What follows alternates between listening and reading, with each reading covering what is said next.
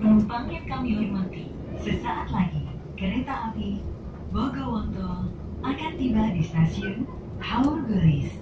Bagi Anda yang akan mengakhiri perjalanan di stasiun Haur Gelis, kami persilahkan untuk mempersiapkan diri. Periksa dan teliti kembali barang bawaan Anda. Jangan sampai ada yang tertinggal atau tertukar. Untuk keselamatan Anda, tetaplah berada di tempat duduk sampai kereta berhenti dengan sempurna. Terima kasih atas kepercayaan Anda menggunakan jasa layanan kereta api Indonesia. Sampai jumpa pada perjalanan berikutnya.